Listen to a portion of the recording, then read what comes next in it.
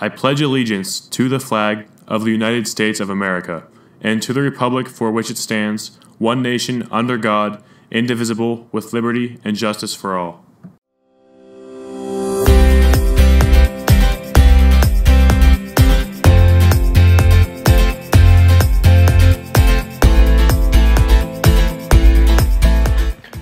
You can put fruit, vegetables, grass clippings, eggs, and brown paper in the compost bin.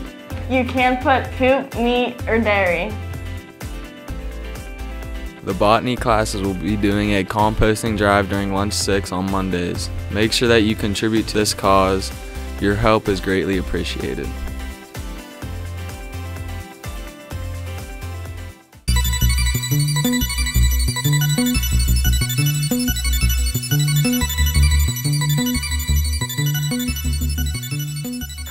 Attention juniors and seniors, prom tickets will be sold from March 28th through April 8th during lunch 8 and lunch 10. That's good for me. they will also be sold after school, uh, school until 3 p.m.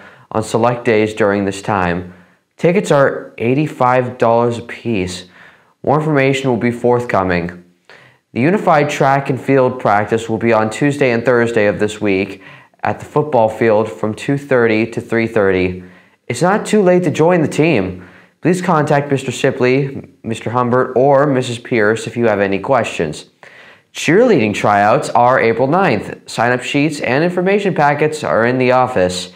All students competing in English Fest this spring, please see Mrs. Horrell by March 31st to sign up for your team and get a permission form.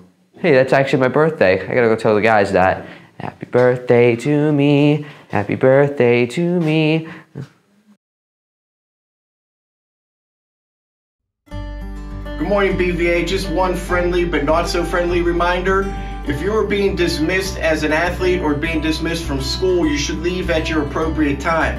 If you miss a period because you don't think you need to report, your teacher is more within the rights of giving you a zero for the day or an assignment or a test that you are not allowed to make up because technically you've skipped that class. So please make sure that if you are leaving for a sport or an activity that you leave at the appropriate time. Thank you.